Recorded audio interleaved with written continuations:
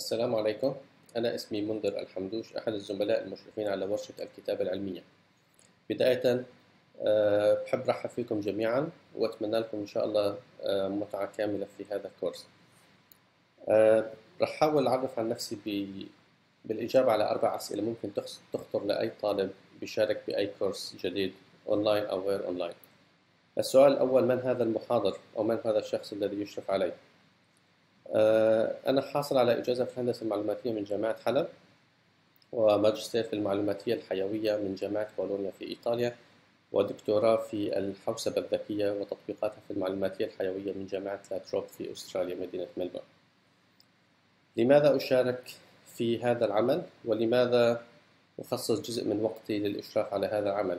بداية هذه مسؤولية أعتبرها شرف لي لمساعدة أبناء بلدي على الخصوص في تطوير قدراتهم البحثية والعلمية وأي باحث مشارك في أي عمل بحثي يجب أن يكون لديه هذا الحس بالمسؤولية وخصوصا وخصوصا للبلد الأم الذي نأتي منه.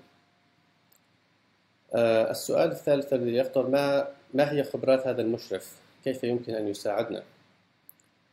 خبرتي في البحث العلمي تتعدى الثماني سنوات حتى الآن الحمد لله أعمل الآن كريفيور أو كما يسمى مراجع أو مدقق في عدة مجلات دولية في مجال الحوسبة الذكية والمعلوماتية الحيوية وأبرزها IEEE Transaction Networks.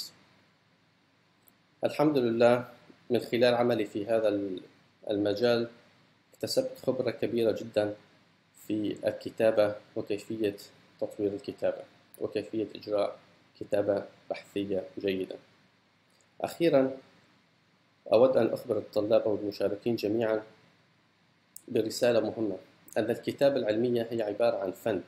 لا يمكن أن تتقنه في كورس عبارة عن أسبوع أو أسبوعين ويحتاج منك على الأقل سنوات عديدة حتى تتقنه بشكل جيد. وأتمنى لكم التوفيق.